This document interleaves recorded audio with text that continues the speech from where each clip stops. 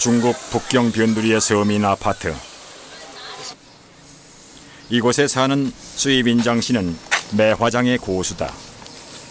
매화장은 중국 무술의 또 한 줄기인 실전 무술에 속한다.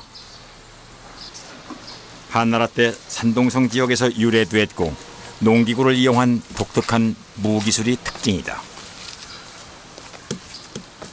수입인장 씨가 처음 배운 무술은 팔괘장. 그런데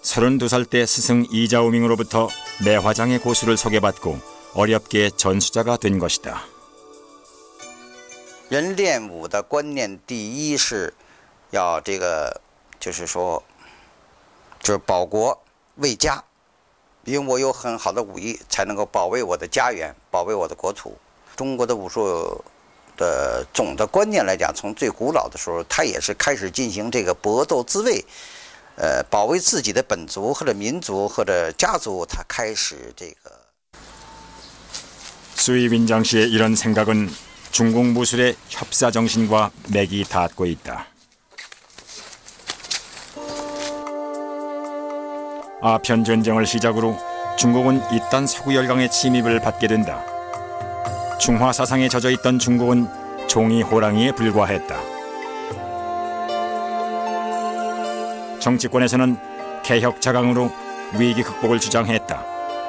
한편 민간에서는 무술로 서구 열강을 몰아내려는 운동이 벌어졌다. 의화단 사건도 이런 배경에서 일어났다. 청일 전쟁 후 산동성 지역에서는 독일군과 농민들의 마찰이 잦았다. 매화장으로 무장한 산동성 농민들은 부청 멸양의 기치 아래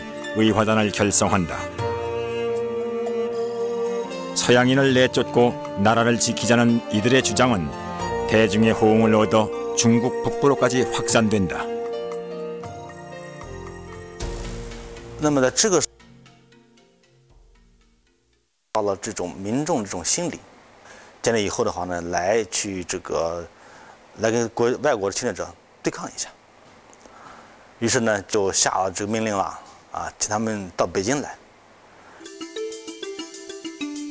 하지만 의화단은 막강한 군사력을 가진 서양 8개국 연합군에 의해 진압된다. 무술로서 나라를 구하겠다는 민중들의 노력은 물거품이 돼버렸다. 의화단 사건은 또한 무술사적으로도 의미 있는 평가를 받고 있다. 千葉丹運動中はたくさんの農民が集まって 武術の流派の交流活発化にありてそれ民間武術の発展に大きな、えー役割を果たしました。